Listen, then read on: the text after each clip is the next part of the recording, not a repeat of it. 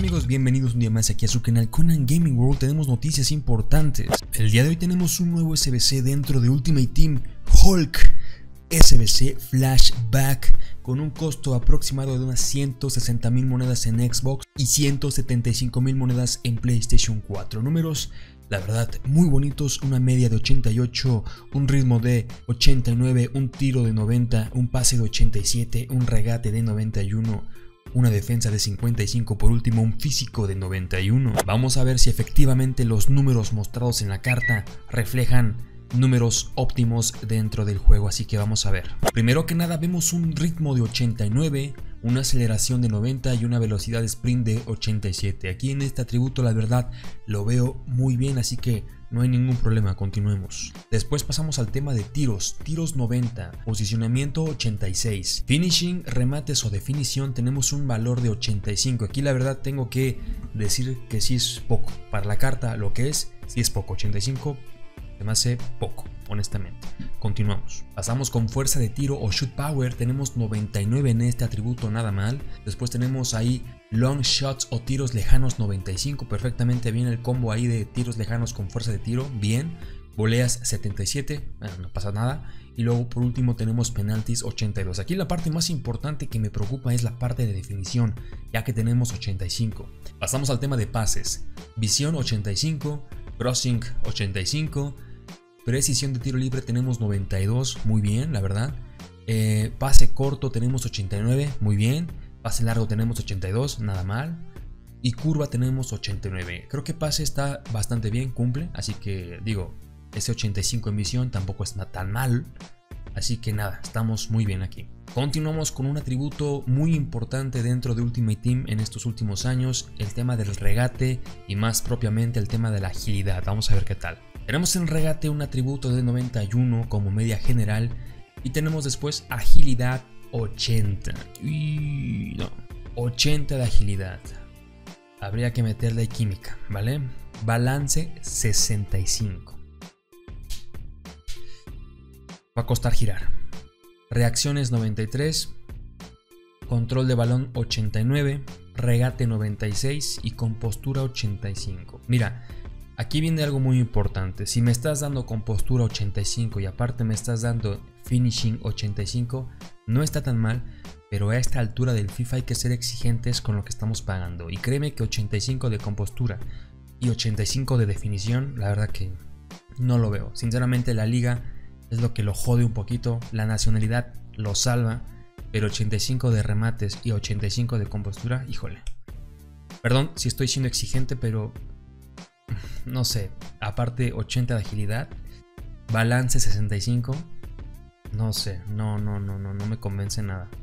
Ah, pasamos con el tema de, bueno, defending o defensa. Lo único que nos importa es el tema del cabeceo o predicción de cabeza 80. ¿Cuánto mide? Mide 1,79, 1,80 casi. Vámonos con el tema del físico. Brinco 75, no, 86 de estamina, ¿vale? Aguanta. Fuerza 96, bastante bien, y agresividad 87.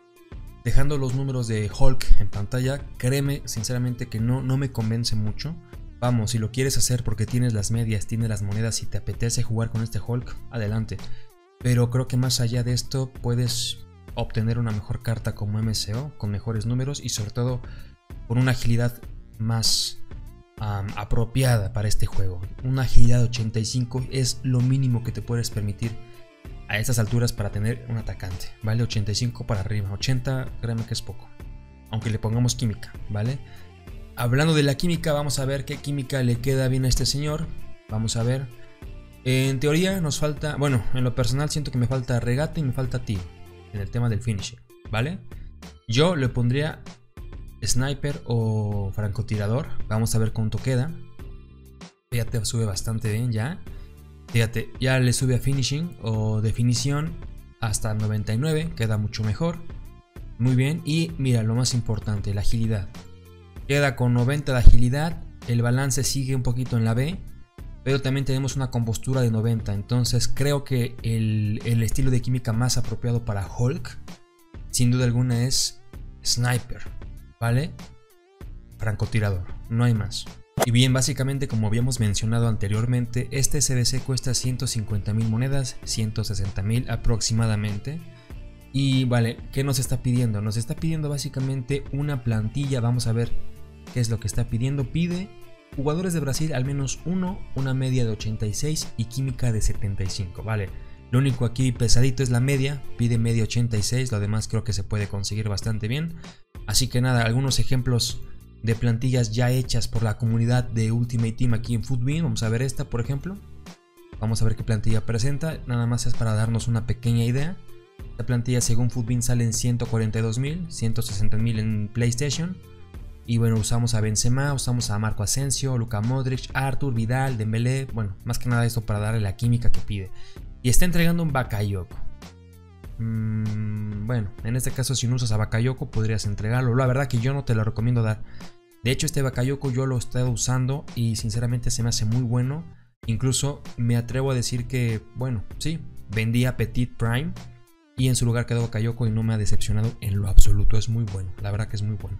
Y bueno, en este ejemplo, pues obviamente sube ya más el costo. No había yo visto, la verdad que era un poquito más asequible por el Bakayoko que es gratis, pero bueno, si no quieres entregar a Bakayoko o no lo tienes, podrías optar a lo mejor por una plantilla de esta. Yo lo que te sugiero, bro, es que veas en tu equipo qué medias altas tengas y con eso vete dando ideas y pone química, ¿no? O sea, la verdad que lo que jode un poquito es la química, que pide química 75, entonces, pues de alguna forma tienes que irlo liando para que quede el equipo lo más, lo más alto en química posible. En este caso, esta plantilla, pues usaron jugadores de la Liga y un poquito de la Liga NOS, ¿no? Entonces es como un ejemplo. Usar una Cavani, usar una Berrat, usar una Gueye, Draxler, Depay, Silva, Navas, bueno, cartas que bueno, se pueden conseguir en el mercado, pero sí obviamente por el tema del icono medio y tal, pues sí, un poquito caro, ¿no? Y ya para terminar este video quiero comentarte algo que es de suma importancia que se entienda y que se entienda bien. El hecho de que saquen cartas en el mercado o que saquen cartas, mejor dicho, en SBC no implica que tengamos que hacerlas sí o sí. Hay que tener en cuenta nuestro club, qué cartas tenemos, a qué aspiramos, qué queremos, porque de esta manera podemos llevar nuestro club y nuestro equipo y sobre todo nuestras monedas a un paso en donde no perdamos tanto y podamos ocupar cartas que realmente valgan la pena. Si Hulk te vale la pena y encaja bien en tu plantilla o puedes darle química con alguna carta, adelante, hazlo. Es una carta interesante, te digo, pero siempre y cuando la usemos con sniper o francotirador.